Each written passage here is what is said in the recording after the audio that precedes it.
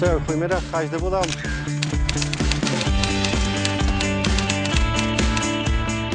We lopen nu eh, naar de oude Spottersplaats. Die is niet helemaal meer te bereiken vanwege dat hij afgezet is daar.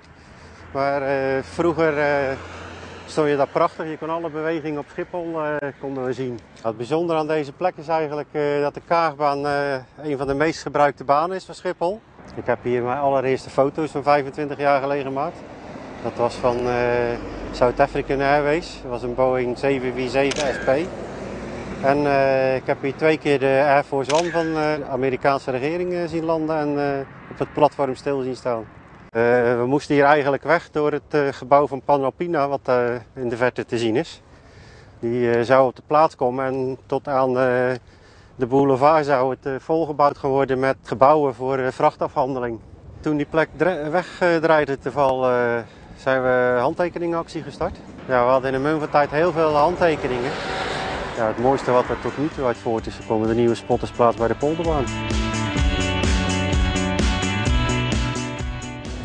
Heeft u nog iets met het Schiphol Oosterduin?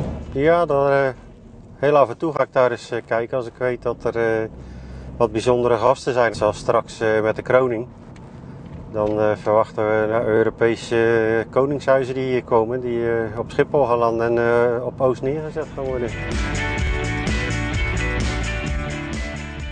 Daar zie je hem goed. Er zitten er twee achter elkaar. Zit er nog eentje achter. Oh, die heb ik nog niet gemeld. Nee. Ja, we staan nu op eh, zeg maar eigenlijk de, de nieuwe spottersplaats. Sinds eh, vijf jaar ligt deze nu hier. En eh, deze is eigenlijk in de plaats gekomen voor eh spottersplaats Kaagbaan. Van het begin af hadden we eigenlijk zoiets van ja, we gaan wel iets doen, maar het zal wel op niks uitdraaien. Maar goed, als je kijkt wat we in de afgelopen vijf, zes jaar eh, bereikt hebben, dan ja, zijn we er toch wel een beetje trots op dat dit hier ligt. Ja, voor mij is het dubbel en dwars waard. ja.